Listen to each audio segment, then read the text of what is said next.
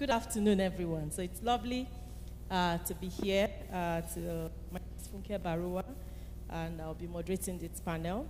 So first, uh, like I said to you all via email, this is not an academic panel. It's not a theoretical panel. Uh, just for us to have a conversation with the audience also uh, from our heart and share our experiences, our strategies, our learnings, and successes and challenges, even our frustrations on working in the SGBV ecosystem uh, across the continent. We know that sexual and gender based violence has become more prioritized at the global level in the past decade, with the recognition of the pressing need to create safer environments for women and girls around the world. In the last two years, however, uh, the COVID 19 pandemic brought with it a deeper focus on this shadow pandemic that has been and sadly continues to be the lived reality of many women and girls long before COVID hit. So, this is a welcome development in a way, and we're of course building on years of activism and research, and now led by a new face of activists and uh, social disruptors, like I call them, young women. I'm also a young woman. So, we know that social movements, particularly those that are led by young women, are critical actors uh, when it comes to preventing sexual and gender based violence. And the structural, and of course, the structural drivers of violence against women and girls and how we can mitigate them. In this session, I'm going to be talking to this uh, lovely panelist about the efforts of young women across the continent to end sexual and gender based violence from the perspective of your work or your activism, as the case uh, may be, uh, in terms of evidence and practice at regional and at national level, even at local levels, uh, uh, with a few questions. So, my first speaker is Miss Natasha Wang, whom I had the pleasure of having dinner with two days ago. This young woman is feisty. I love her. She's a 21 year old passionate advocate. Natasha is passionate about using media to empower young people. She's a junior reporter child and women's rights activist at the Media Network on Child Rights and Development. She's also the Social Accountability Monitor at Southern Africa HIV and AIDS Dissemination Service. Please put your hands together for Natasha. 21. I wish I could talk to my 21 year old self. You should be here.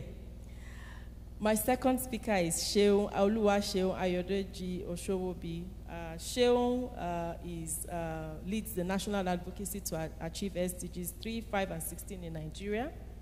Uh, she's the executive director of Stand to End Rape.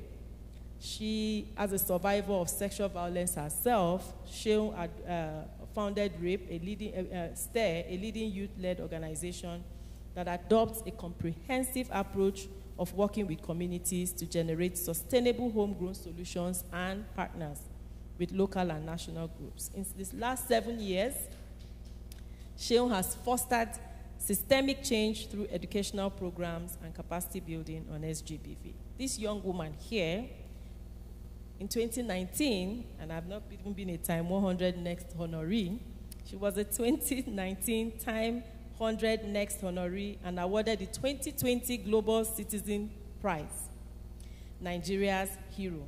Recently, she won the 2020 U.S. International Visitors Leadership Program Impact Award.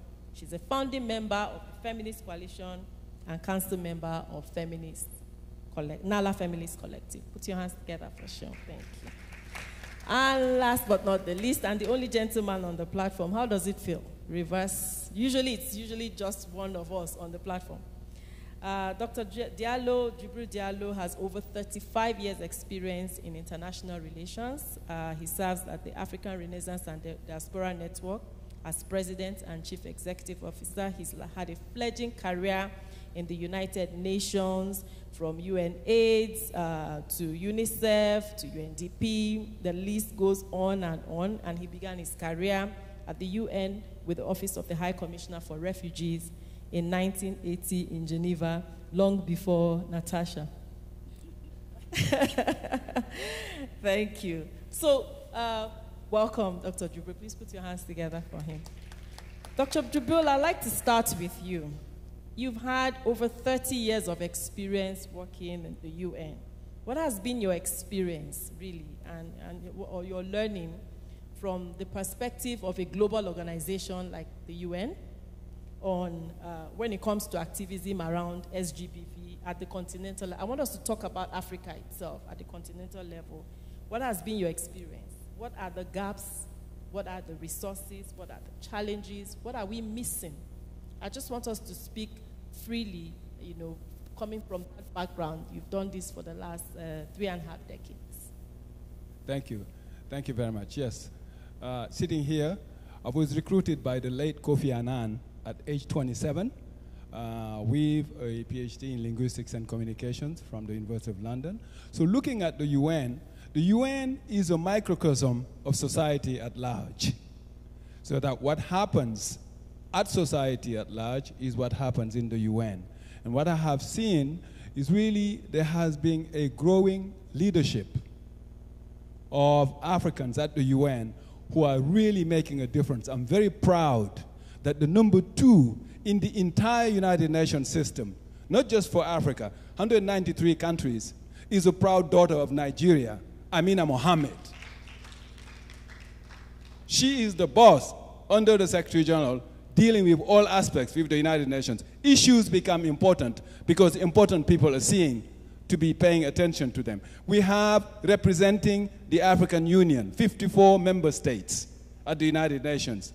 We have also another proud daughter of Africa, of Nigeria, Amina Kyari Mohammed, here present. So that that has been my experience that we need to push even harder to get Africans at the level of policies when it comes to JPO programs, when it comes to pushing women, we need to make sure that African women are also there when it comes to gender equality.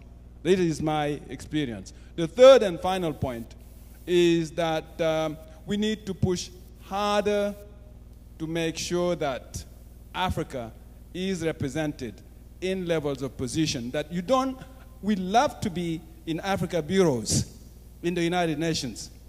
But I was the first director of communications of UNDP Global.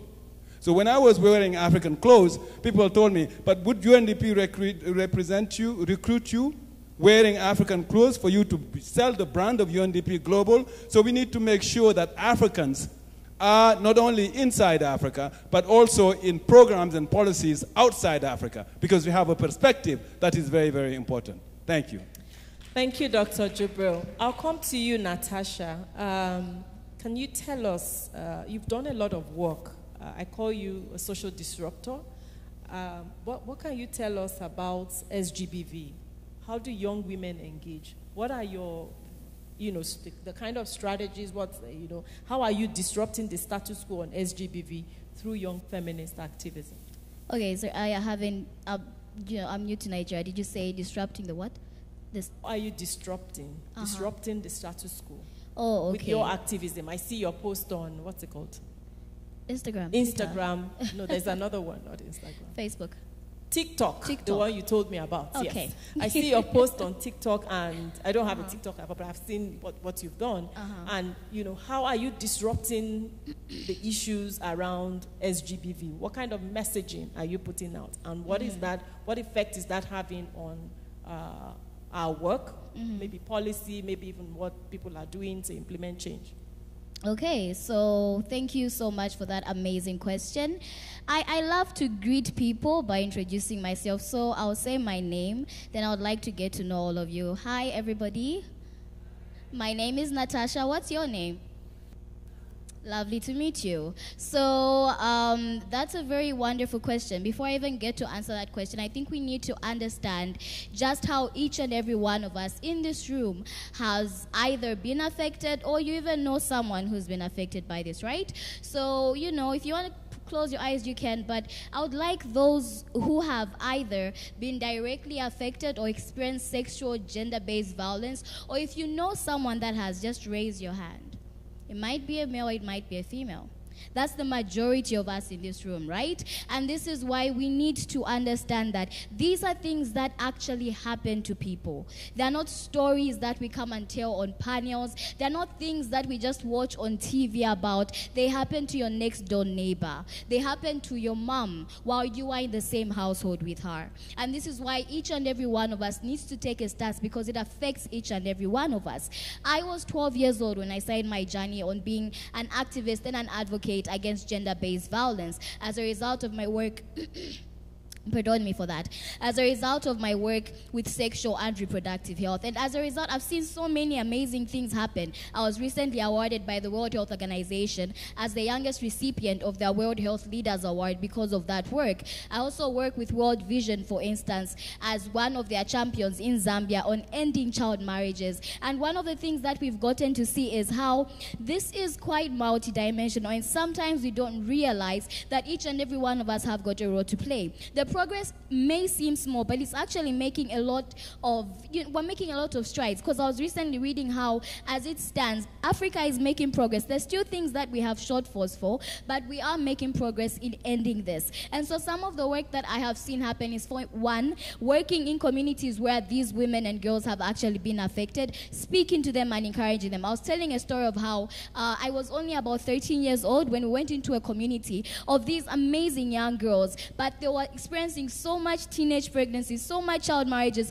and it was really sad. So we organized for an organization to go there and we said, you know what, let's invest in them. Let them understand what their rights are, but beyond rights, let them understand that they actually have dreams and they've got potential to fulfill. And so when we went into this society, we trained them for five years. It took about three years for us to actually start seeing that their mindset was being changed. And after five years, these girls were now the ones that were sending messages to other people. So imagine that. I was 13, I turned 17 for me to see results of the work that I saw. And these are some of the success stories that we have to see. So you you need to get to a place where you realize that unless someone cares long and hard enough, then there will be a girl that will constantly be abused because you have decided to keep your knowledge in this room. And this is why, even as we have these conversations, I love them, absolutely important. But let's take them away from boardrooms, let's take them away from conference halls.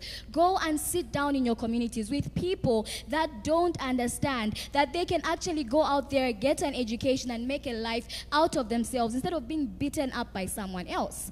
And it's these simple things that we may not actually see. So another thing that I do, um, you did mention that I'm a social accountability monitor, and what we basically do is I do a lot of budget tracking. So you find that when they release the national budget, for instance, in our country, I'll sit down with a group of you know people and colleagues, and even with my organization, we'll sit down and analyze the budget, and we will find most of the time that only 0.01% of the health, not even the national budget, the health budget is going towards adolescent sexual and reproductive health, and that's not just contraceptives and services. That's everything. You're talking about defense systems. You're talking about about um, helplines, they're talking about services, you're talking about paying people to actually help these young people in these health facilities. And so, with that, it's another success story that we saw. Not too much of a success, but at least it's something that we saw. So, we kept going to Parliament, we kept talking to them, telling them, look, this is what we want to do. We need these budgets adjust, adjusted because it's clearly not working.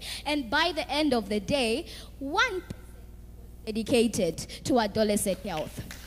Now, I'm, I'm personally not happy because what is 1%? The population is growing in Zambia, so what exactly is 1%? But at least it's something that we can see that it's making progress in some way. And the fact that we have actually even gotten international attention, the fact that we have organizations that are coming in and helping out in Zambia means a lot. So I believe in disrupting the status quo, what we can all do from what I have done is go to the communities where these people are and keep helping them. Go to the governments where these people are and hold them accountable. Because if you don't speak for them, no one else is going to do so. And then finally, engage with each other, network and find ways to make the change that you want to see back in your communities. And these may seem like simple steps, but these are the steps that have changed the world for so many young people in my country and beyond. Thank you. What did I tell you? I could as well just go back to my seat now. Thank you, Natasha. I, I gleaned a lot from you've talked about uh, what we need to focus on. You, we need to stay the course. You're talking about um, sustainability of interventions and not just one-offs. You talked about a five-year plan to get young women out, you know, in a community uh, out of the, the cage of ch child marriage and teenage pregnancy. Uh, you also gave some gaps. You talked about the budget, the fact that the resources are not enough, very, very limited. Are there other challenges you have encountered in doing this work? One or two, just apart from resources, that, that, that, that appears to be a general song, even for Ford Foundation. yeah. Uh, I think one of the other things that we have found to be a challenge with regards sexual gender-based violence is we haven't had, at least now they are growing, but you know, when I started years ago, we did not have facilities that could actually help when, you know, for instance, if we take a child out of marriage, right, and we take her and we say, oh, we've taken away from marriages, there's nowhere to take her after that because you can't take her back to the household where she's from. They'll sell her off again. And there are no facilities to take her for her to get healing, for her her to get therapy or for her to get help. So it's like we are advocating and we want these girls to get out of marriages, but we don't know where to take them afterwards. And that was the problem. Another challenge away from the budget was that there were a lot of people that were hostile. And I'm not even talking about government, I'm talking about parents. I'm talking about community leaders and cultural leaders. Now that is changing, which I really appreciate because once we started having more conversations with them, they became more open to the idea of the fact that these are not cows or animals that you just sell off to make money. These are actually girls that will make even more money than the sons that you're trying to preserve. And I'm not trying to say, you know, men, women, whatever, but you know, girls are smarter anyway. So that's the whole thing. And yeah, so what we used to do is, we'll actually go in those communities, we'll go to those traditional leaders and we'll tell them saying, you can't keep doing this. And, and the, the thing is, they actually had because uh, we have customary law and traditional law in our country, and both of them are legal. So you can marry off someone if they are 16 or if their family consents to it because the traditional law allows for that to happen. But in customary law, it's not allowed. But if they come to you and say, we're using traditional law, then you've got no stance against them. So you could not take any legal action whenever sexual gender based violence takes place. And then protection from families also. I remember. I remember Okay, I thought that was my phone. I remember how, um, I remember how we had a story of this girl who came to me and she opened up to me and she said, My brother tried to, was hitting me the other day. My brother was hitting me and she showed me the cuts on her body. And so she said she wanted to take him to the police station. But her mom, and the mom is like, has got PhDs, everything, she's good, the dad is good. But they told her, if you take our son to the police station, you have to pack your bags and go. And so you find that there's that protection in families. And you might just think, oh, it's just a sibling rivalry, but it's not. Because that boy is going to grow up thinking, I'll always be protected because we are family. And if he can treat his sister like, let's not, let's not forget that your wife isn't your girlfriend anymore. She becomes your family. So if you hit your sister, then you will hit your wife it's mandated. So that's those are some of the challenges that we face. And then finally, even just persecuting these people. I remember we had this conversation with the council members, and it's something that we've actually seen where there is no integration. I don't get why to date we have to go to the police station, report a case, but you still have to go to the healthcare center, pay for everything that they need as evidence, for you to take it back to the police station and pay for more things at the police station because it's just standard procedure. Standard procedure with your life. How does that make sense? So the fact that there are still laws and, and policies that do not regard human beings as human beings and that don't, don't even look at status, and the fact that a human being that has been violated has to pay for the perpetrator who didn't have to pay anything to violate that person is absolutely wrong. So those are some of the things that we've seen as a problem, and even just some policies that just don't work out. They don't match, and it's really a whole conversation. We could keep on going and going but I see my other have a lot to say, so give them a chance. Thank you, Natasha. I'll come to you because she, she moved from that point where I wanted to look at the lessons around young women's uh, activism, what you've done, and you have been at the forefront of different movements in, in Nigeria. And how do you bring how do you bring or mainstream uh, that, that, that kind of experience from your NSAS days to your FEM, FEMCO to NALA FEM? How do you bring those experiences to um, ending SGBV? I know people like to use the word addressing, but you know we, we have to think about ending SGBV. Sheil. Thank you very much, and I'll make this very brief. Um, young women are definitely mobilizing across the continent, but I want to speak specifically to Nigeria. Um, when, and the um, former Emir of Kano made reference to this, when um, Vera died, Uwaila, in 2021, we kind of were upset that there was nothing being done about it. So a couple of young feminists and also men created something called the State of Emergency GBV. And the idea was to look at the policies that we currently have in the country. How effective are they? So we have the VAP Act, which is, which is required to be adopted at the state level. And I know that about 32 states have adopted it, but it's not about adoption, it's about implementation. When the case happened, we saw a lot of dragging of feet by the Nigerian police. You know, that, till date, we haven't had justice, you know, a year down the line.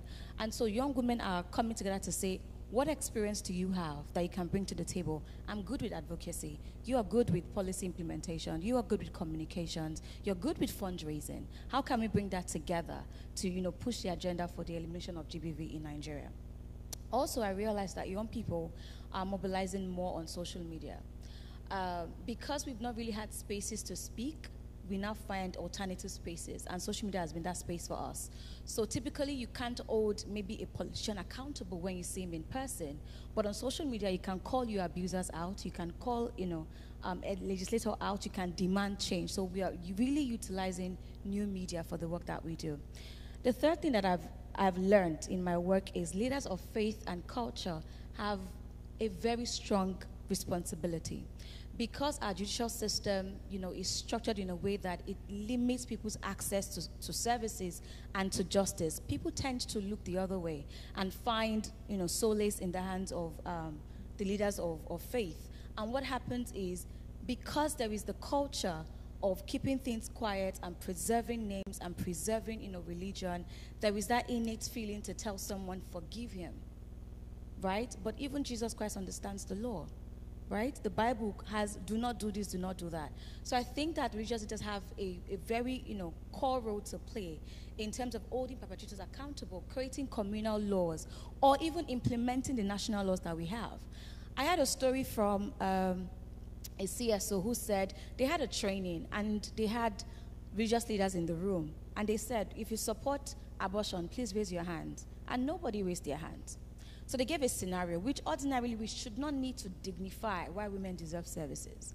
But they had to give a scenario to say if you if your daughter was raped, for instance, and she's pregnant, what will you do? Ah, God forbid. They said different things. And they said, Would you be open to abortion? And they said, Well, they are not going to keep the child of a rapist, so they will be open to it. When the story became personal, they were able to shift stance. But the, when the story is distant of other women, you know, they don't want to move you know, their feet. So I think that we need to hold them more accountable and um, engage them to really push the needle.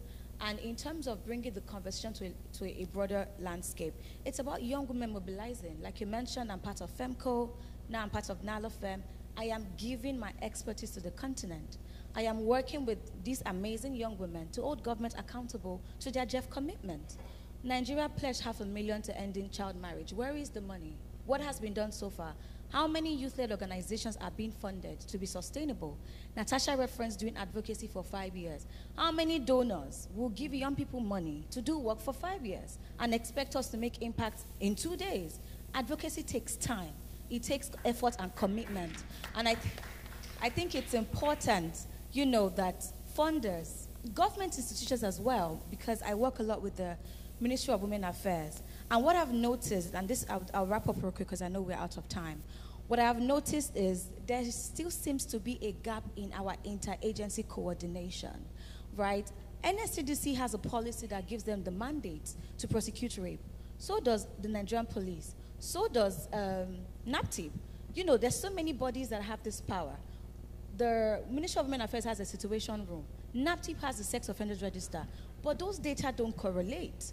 So we don't have a proper coordination amongst our agencies, and that is causing a collapse in terms of service, service provision. Ministry of Health, Justice, Women Affairs, Education need to form like an interagency coordination, I don't know, committee where if a survivor requires medical services, she doesn't need to go to point A, point B, point C, point D. They can go to one place and easily access all of the services because it's holistic. And that's what states like Lagos State has achieved. Cross River is trying to achieve that right now. Still is Ogun State and, and Oyo State. But we don't have that interagency coordination to make it easy for us to really provide services to survivors. I have a lot more to say, but I would I'll just. Thank you, Shale. I hear you correctly. You talked a lot about the role of uh, faith and culture leaders. You talked about uh, um, donors putting their money where their mouth is, and even government's commitments and resources long term, just like Natasha uh, mentioned. I wanted to ask one more question before I go back to Dr. Jibber about um, the, at, at, the, at the Africa level. Is there any, what, I know NalaFem is doing a lot and you are mobilizing this movement of young people. How are you connecting uh, to other young women across the continent? What's the plan? You know, to get a movement going, you, you, to really leave out some of things you are talking about in terms of long term uh, sustaining uh, these kind of conversations and sustaining the work that you're doing. Thank you very much. So Nala NalaFem is one today, and we've taken the past one year to strategize um, how to make the space more open to other young women across the continent. And so what we're doing is we're going to have a membership where young people can learn from us. We recently, well, actually this morning, we launched a book called I Am Nala, and it documents the stories and journeys of seven women across the African continent. What have we done? Where have we failed? What are the challenges of experience and the triumph? What can you learn from us? Because unfortunately, we didn't have those documentation. If you notice, and it was mentioned earlier, women were part of the fight for independence, you know, and liberation. But when it came to representation in power, women were missing. Their stories were erased. What we are trying to do is ensure that our stories are not erased and the younger generation can connect with us. Um, Natasha is the youngest on, on, on our council. Natasha is going to mobilize Zambians in our country. I am Nigerian. I am going to mobilize young feminists in Nigeria. So Nala Fem is that platform for young people across the continent to really, you know, connect, but importantly, to do impactful work. We have something called the Nala Academy, which would launch towards the end of the year, where we would have young people across the continent learn from our own expertise, and then we can begin to divide. So we have 10 demands. There's demand one, I champion two. I would work with a set of people to champion two and hold governments accountable. Natasha will work on the other, you know, um, um, demands. My, my colleagues will do that as well. So for us, we're trying to not just keep the knowledge to ourselves, but create a platform where we can co-learn, right? Not, you know, not about teaching, but we're co-learning. But importantly, we are helping each other hold our government accountable and getting women into power because that's the end goal. Thank you, Shale. I know that we've had a history of organizing and the feminist movement, and of course, we've documented a lot of this. What I think is different is the way uh, young feminists, Z, Z, Y, I don't know which generation you guys call, you know, is different, and there's a lot of tech, uh, you know, uh, around this. Uh, Dr. Juba, I have one more question, and I want at least one or two people from the audience to ask something. Um, Sheo and uh, Natasha talked about uh, um, development partners and their role and funding. Uh, in your experience, what, what, what can you tell us? What's the next frontier? What should we be doing more uh, to support young women activism uh, to end SGBV? Or what should international organizations like the UN, coming from you, the UN and others, be doing? First of all, I think I'll take a step back uh, to make sure that we understand that this issue is a global issue. The United Nations has determined that no country in the world treats its women as well as it does its men. 193 countries. So we've got to end the apartheid of gender as forcefully as we ended apartheid in South Africa. Second point is that uh, I represent the African Renaissance and Diaspora Network. You have 170 million people from the diaspora who are descendants of daughters and sons of this continent. So the African Union has decided that the diaspora is the sixth region. So that connection is some of our work, which we're doing from the headquarters of the organization, which is based in New York. The third element is that uh, there are two universal languages. One is culture, the other one is sport. So since 2019, the African Renaissance and Diaspora Network has been using the convening powers of sport to give a red card to all forms of discrimination and violence against women and girls. Because as you know, when you get given a red card in football, what happens? You're out. So we want to make sure that we use that convening power in order to get off the field any individual, any organization that is giving violence against women and girls, and we need one million signatures.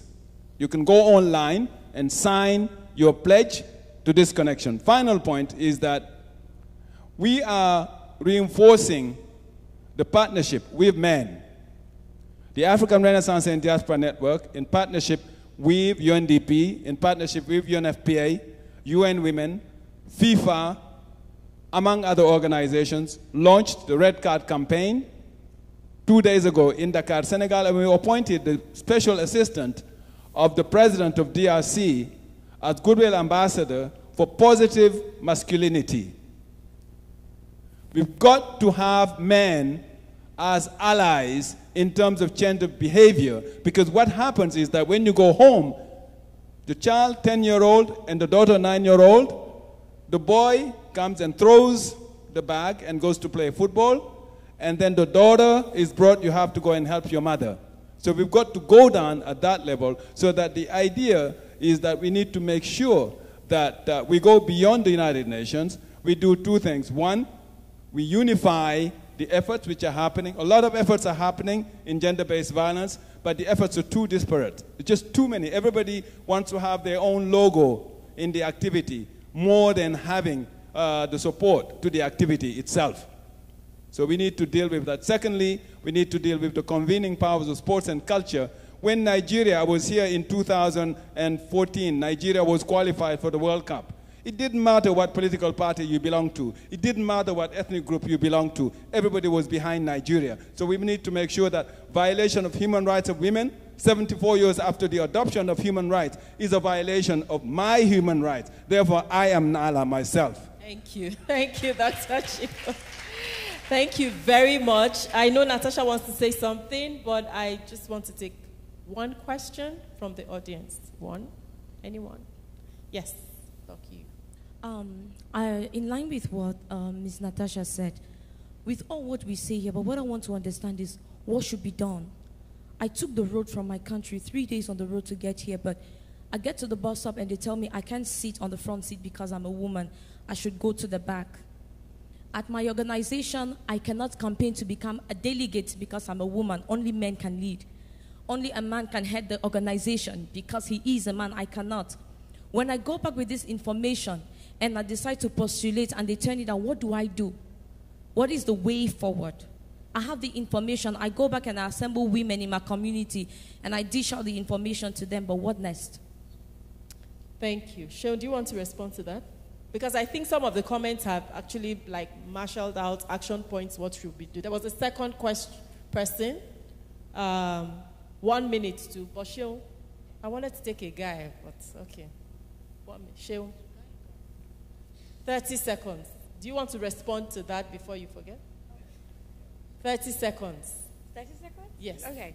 So for me, I think it's about disrupting the patriarchy and social norms that limit women's access to spaces, right? You being not being able to sit in front of the boss. It's not just about as it's a violation of your rights, I get it. But it's also speaking up, right? Why can't I sit there? Sit there. Sit there, take that seat, right? If they say you can't, I mean, just sit. I've had it happen to me before. I can't, I sit there, carry me out. You will see trouble. Do you understand? Sometimes you need to speak up because we have that culture of respectability and silence, right? And they thrive on that. So when somebody challenges your human rights and your personal safety, you challenge them back And Thank you, I can Seun. say. I think you should also refer to the Charter of Actions or Demands that NALA has. I think those are very key action points. and So, steps. Oh, thank Yes, you. what- Thank you. Yeah, my 30 question. seconds. Yeah, my question would be, what's the strategy to getting all this, this conversation on the campus structure in Nigeria? What's the word? What's the strategy to getting this to campus? On campus? Yes. SGBV. Plenty. Are you from Nigeria? Yes, I am. We have an organization called Gender Mobile Okay. well, that I'm bragging now for the sponsoring, as doing a lot of work on campus, and there's a campus pal app. There's a welcome to campus uh, uh, uh, info kits.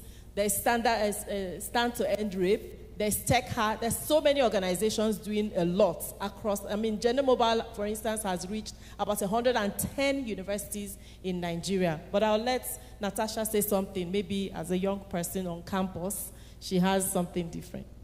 Okay, thank you so much. Um, concerning that particular issue, actually, I believe it's it's about mobilizing. Like she said, there are so many avenues that you can take advantage of to bring these conversations into the room.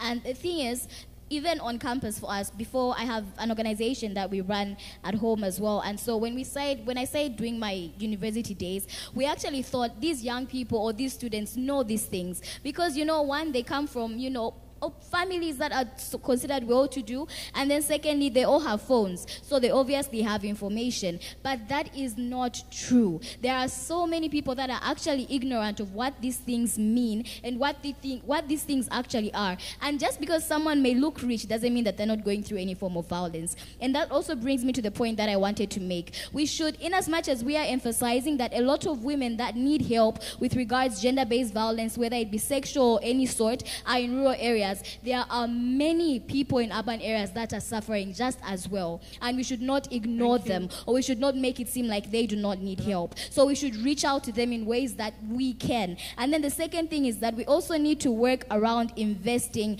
in emotional intelligence. Away from the sexual i think that's also happening because you mentioned tiktok. If you go on tiktok right now and maybe go to your for you page or whatever you'll find so many videos of girls posting about toxic relationships guys posting about toxic relationships. And we try to complain and don't understand why this generation has a lot of mental health issues. It's because of these toxic relationships. And these are the toxic relationships where this violence takes place because it's the breed ground so we need to invest in the emotional intelligence of young ladies and even the gentlemen so that we can actually breed relationships that to be Thank you helpful so to much. Thank you. society Thank you, Natasha. Unfortunately, we are at the end. I'm so sorry. You can see the, the moderator is already here. But just to answer uh, the person who asked for strategies, there are clubs in many schools, in many uh, um, secondary schools right now, even universities, anti-SGBV clubs. There are apps, you know, for reporting. There are apps for, uh, for mentoring. There are apps for advocacy going on.